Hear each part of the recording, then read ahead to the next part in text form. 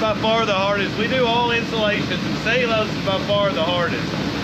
Now we got great equipment and we've been doing it forever, so it's easy for us, but it's the hardest to teach somebody.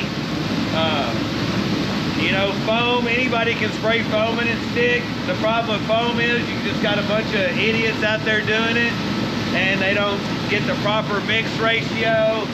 They don't keep their foam warm in the winter. Uh, I had a guy from just outside of Knoxville call me the other night.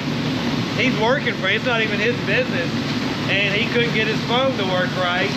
And what it comes down to is like, well, they don't warm their foam up. You got to keep those barrels at about 80 degrees in the wintertime.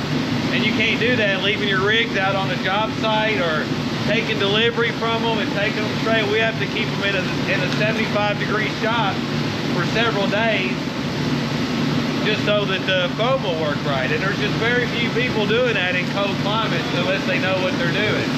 So that's why you get a lot of bad foam out there.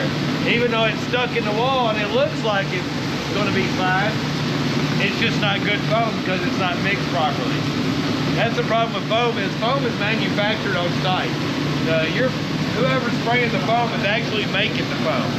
So the company just sends you raw material and then you manufacture it. So, you know, foam, you need really smart people who've been doing it for a while, who have a nice heated shop, who take their rigs back home and put them back inside the heated area overnight, things like that.